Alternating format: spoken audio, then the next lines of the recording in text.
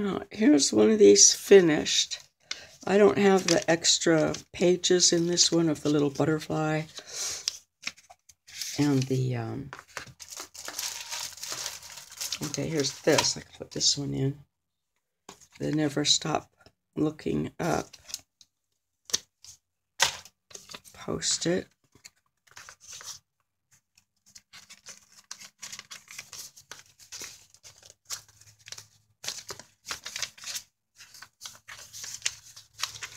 I'll put mine in a different direction. These are in all of the books and they're just in as a post-it. People can glue them in wherever they like. So there was just one part of this whole process that I didn't do, which was undoing the box.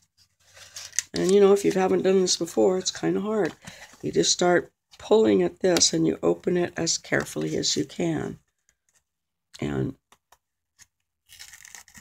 keeping as much of this side on as you can, etc. And of course, that's the end that you open. So you open it neatly. Now, this one's all bent up, and this one's all nice and straight. So I'm going to, yeah, both a little bent up. I'm going to use this one for the outside. So that means this is the front because this is where the opening will be. Unless I decide to use this one for the outside, but it's pretty bent up too, more so.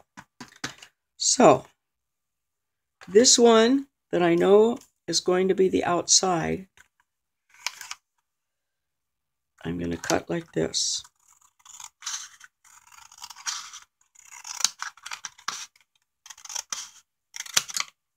Right down the middle of there. Now all of these things will be folded to the inside and glued down. In order to do that, we need to trim the corners, just like we do in sewing.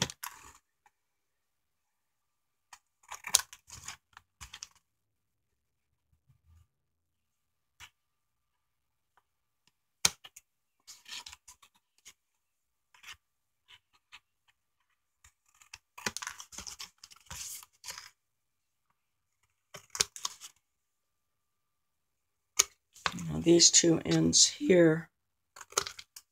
Okay. Everything's ready except for these two flaps.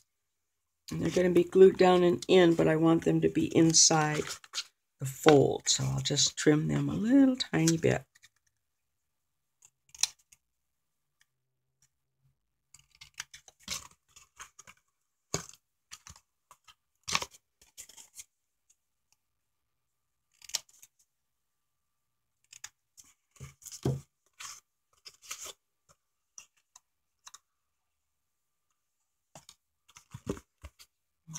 That's that one. And then what you'll do, I used E um, E9000 or E6000 on these, but this is paper to paper, and that's what this is made for. Although this is a craft glue, it glues other things. I'm pretty sure it's a craft glue, or an all-purpose glue, rather than a school glue.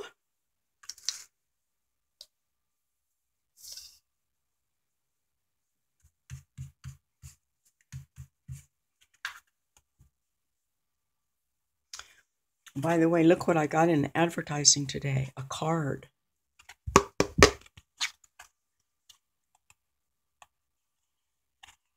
It's plastic coated. I don't know if it's made of plastic, but this would be good for scraping paint because it's bigger than a credit card. Yee. Like squeegee, squeegee through a stencil. All right, so that's that one. And that's going to be the outside.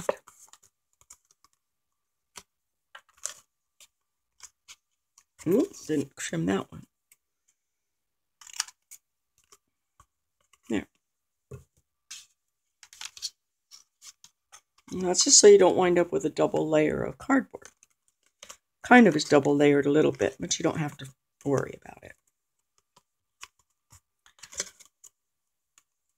I think I've been putting this side down first and then these down second. All right, I'm not going to glue those just now. I'm going to wait till that glues. Again, it's kind of like pressing your seams open, always. Just let your glue dry and go on to the next step if you're using wet glue. All right, now the other box is right here. Oh, here, here's the one that hasn't been opened. So we just kind of get both sides because they don't have the glue and peel away. And then when we get the middle, we try real hard to keep as much of the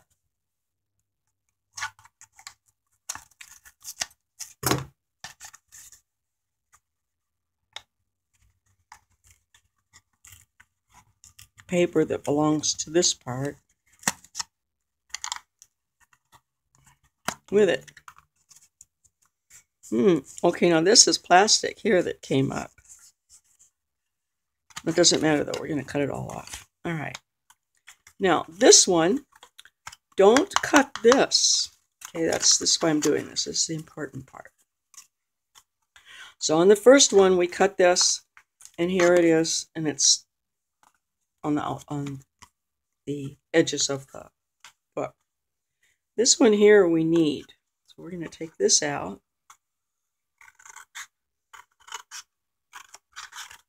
Carefully cut it out.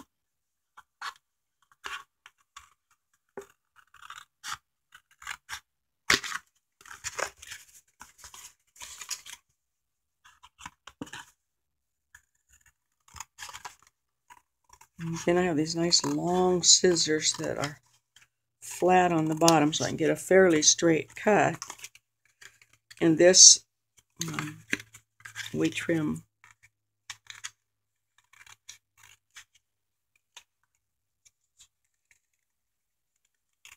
a little later after getting them uh, lined up together. All right, so now this one here is going to be the inside. First of all, we're going to take this piece here and put it aside because we're going to glue it in here to give the spine more stability. Some of them I have gone ahead and glued in double pieces. But we have this also. So Let's see now, have I?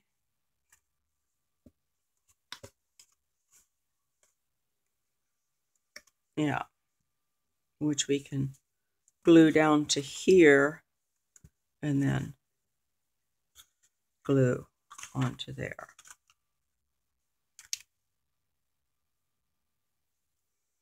It's hard telling what I did. But at any rate, they all have this in or a spine. And then this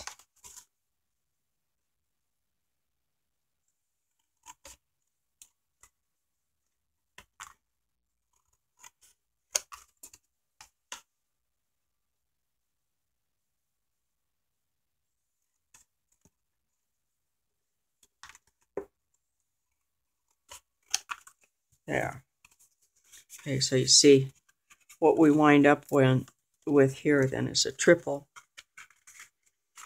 a triple uh, cardboard spine, which gives it the strength that it needs to resist these rubber bands pulling on it. This really is like a, not a paperback, but those uh, library binding. It's a, it's a hard cardboard. It's really nice. So that's that. Um, these other steps are illustrated in other videos, which I sure would be very nice to edit together. These, all of these are kind of rambling videos. But I did want to get the instructions down because these books are going out. And who knows, maybe somebody might be interested to see how these are made. I mean, really how they're made, not just. So I've done it. I've done it all in real time here. I think I've been cutting these things off, but I don't really know, and it doesn't matter. because this is drying and I'm done. Um, please subscribe. Pardon me. Give me a thumbs up. The little bell that you click on is for notifications. So that means every time I load up or anyone that you subscribe to loads up a video, it comes onto your phone and says, ah, there's a video to look at. So uh, that's not really necessary. Unless, uh, you know, sometimes people know that something is coming out, then you'll say, "Hey, hit the subs- put, you know, hit the notification bell," and then you can be notified of something in particular that you're waiting for. But subs- uh, subscriptions just mean in your feed when you go looking to see, "Oh, what should I look at today?" It'll be in there, and the things you look at more often than other things will come up first. But that's like your your scrolling list of stuff that's there.